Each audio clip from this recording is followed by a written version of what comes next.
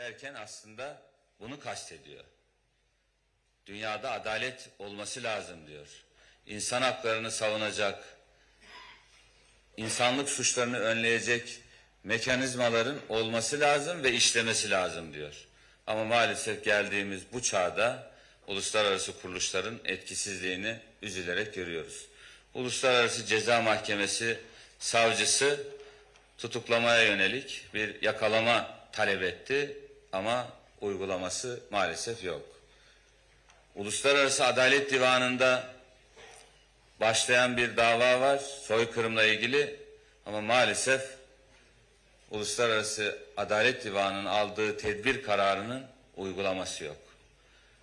Saldırıların başladığı ilk günden itibaren Birleşmiş Milletler Güvenlik Konseyi'nin huzuruna getirilen ateşkes önerileri hep Amerika Birleşik Devletleri'nin red oyuyla, vetosuyla karşı karşıya kaldı. İnsani yardım önergeleri bile maalesef veto edildi.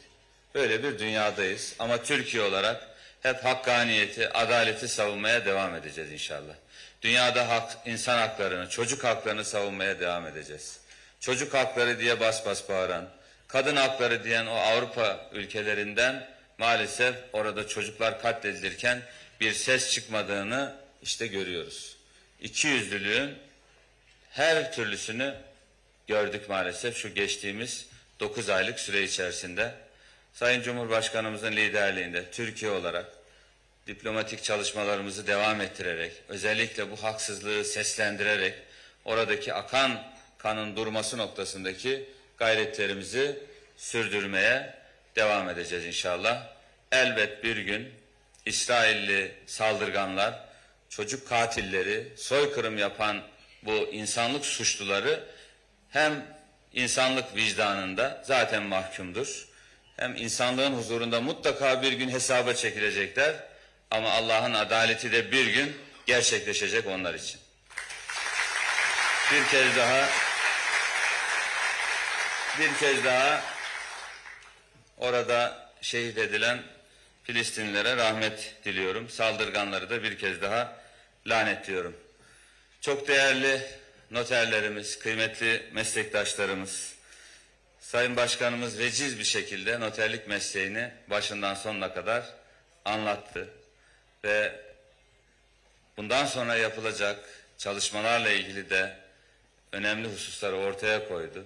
Yapılacak daha çok iş var, yapılanlar var ama gerek idari uygulamalarla gerekse de mevzuat çalışmalarıyla gerçekleştireceğimiz çok işimiz var. İnşallah bunları el birliğiyle gerçekleştireceğiz. Tabi divana baktığımız zaman divan sadece kadınlardan oluşuyor.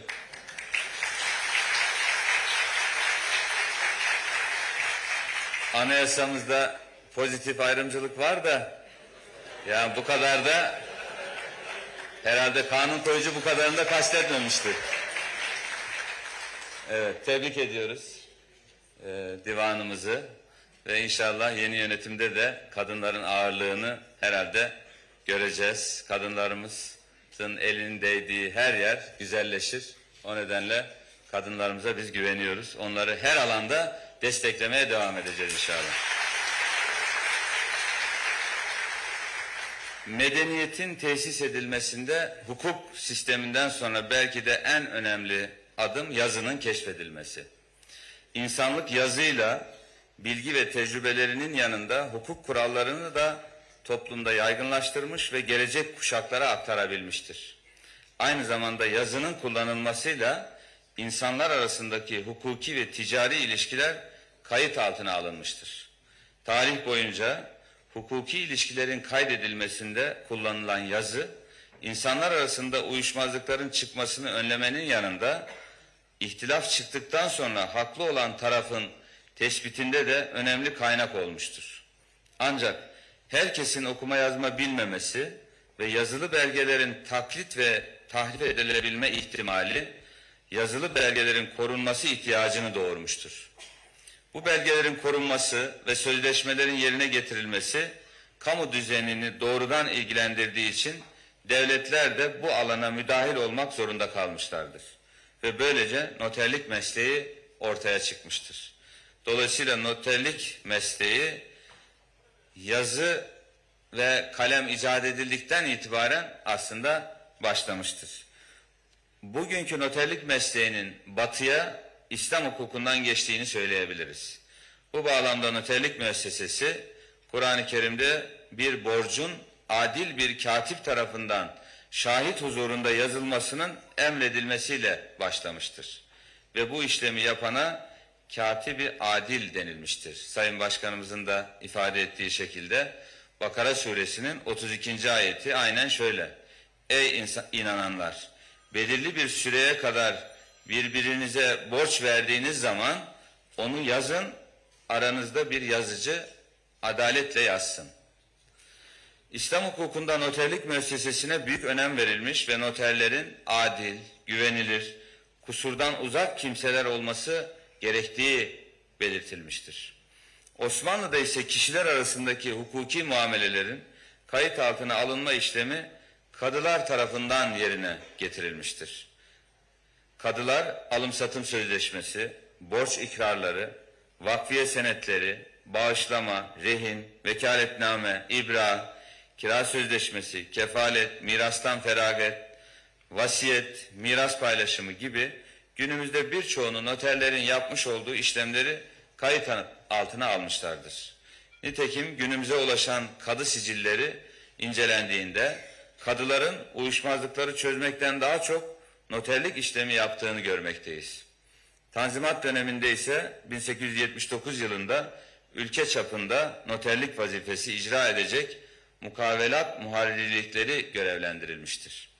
1913 yılında ise bugünkü noterlik kurumuna yakın bir sistem hayata geçmiştir. Katibi adil kanuni muvakkatı. Günümüzde ise noterlik kurumunun temel mevzuatı 1972 tarihli 1512 sayılı noterlik kanunudur. Kıymetli katılımcılar, böylesine köklü bir tarihe sahip noterlik müessesesi bir kamu hizmeti olarak adaletin sağlanması ve korunması açısından hukuk sistemimizin temel taşlarından biridir. Noterler en başta yaptıkları işlemlere resmiyet kazandırmakla o işlemlerle ilgili olarak hukuki uyuşmazlık çıkmasını büyük ölçüde azaltmakta, çıkan uyuşmazlıkların ise kolay ve çabuk sonuçlanmasına yardımcı olmaktadır. Bu açıdan noterler öncelikle adaletin tesisine ve mahkemelerin iş yükünün azalmasına önemli katkı sunmaktadır. Ayrıca bu husus tabii ki toplumsal barışın sağlanmasına yahut bozulmuş olan toplumsal barışın yeniden tesisinin sağlanmasına da fayda sağlamaktadır. Noterlik kurumunun uyuşmazlıkları kısa sürede çözüme kavuşturma özelliğinin yanı sıra koruyuculuk ve önleyicilik işlevi bulunmaktadır. Çünkü noterler insanları ileride ortaya çıkacak tehlikelerden koruyarak hukuki değeri yüksek belge edinmelerini sağlamaktadır. Bu sayede noterler uyuşmazlıklar daha meydana gelmeden ihtilaflara mani olmaktadırlar. Böylece noterler kişileri ve toplumu uyuşmazlıktan ve uyuşmazlığın zararlı etkilerinden korumakta adeta toplumun sırtını dayayacağı, varlığından huzur duyacağı kişiler haline gelmektedir. Noterlerin sunduğu hizmetler sadece bireyler için değil, aynı zamanda ticaret dünyası için de büyük önem taşır. İş dünyasında yapılan pek çok anlaşma ve işlem noterlerin onayı ve kaydı ile güvence altına alınır. Bu ekonomik ilişkilerin daha sağlam temellere oturmasına ve olası hukuki sorunların önüne geçilmesine imkan sağlar. Tüm bunların yanında noterlik kurumunun temel özellikleri tarafsızlık, bağımsızlık, dürüstlük ve güvenilirliktir. Bu özellikler noterlerin hiçbir tarafın çıkarını gözetmeden sadece yasaların kendilerine verdiği yetkiler doğrultusunda hareket etmelerini sağlar. Tarafsızlık ve dürüstlük noterlik kurumuna olan güveni artırır ve noterlerin gerçekleştirdiği işlemlerin hukuki geçerliliğini de pekiştirir. Adalete erişim ve hukuk güvenliği açısından böylesine önemli görevleri yerine getiren ve kadim bir tarihi olan noterlik müessesesiyle ilgili olarak son 22 yılda her alanda olduğu gibi Türkiye Noterler Birliği'mizin işbirliğiyle çok önemli adımlar attık. Türkiye Büyük Millet Meclisi'nin gündemine getirilen tabii ben 16 yıl parlamentoda görev yaptım. Bu görev yaptığım süre içerisinde Adalet Komisyonu üyeliği, sonrasında da başkanlık görevlerini üstlendiğimde komisyonumuzun gündemine gelen her yargı paketinde mutlaka noterlerle ilgili birkaç hususun, birkaç maddenin yer aldığını gördük ve her yargı düzenlemesinde noterlere ilişkin mutlaka bir gelişmenin olduğunu da memnuniyetle bu süre içerisinde izledik. Bitti mi işimiz? Bitmedi. İnşallah daha yapacağız.